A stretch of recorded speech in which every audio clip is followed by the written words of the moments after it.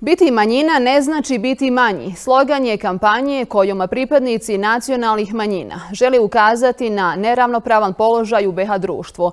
Žele učestovati u zakonodavnoj izvršnoj vlasti, a sve s ciljem konačnog napretka naše zemlje. 17 nacionalnih manjina u BiH gurnuto je na margine društva, poručuju pripadnici nacionalnih manjina.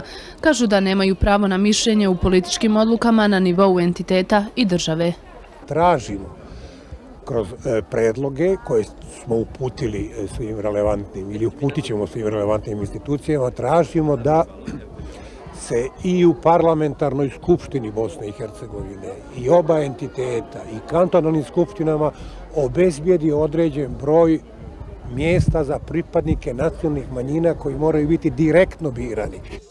Traže promjenu izbornog zakona, tačnije implementiranje presude Sejdići Finci, za koju već godinama političke elite ne nude rješenje.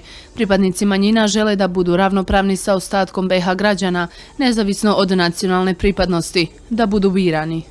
Nije to što je to, da kažemo, zahtjev Evrope, nego je to zahtjev ljudi koji žive u Bosni i Hercegovini, da se konačno formira jedno demokratsko društvo. I ukoliko budemo uspjeli da uđemo u strukture vlasti i zajednički kreiramo politike sa većinskim narodima, siguran sam u tome da će se poboljšati stanje Roma u Bosni i Hercegovini, a samim tim i drugih nacionalnih manjina.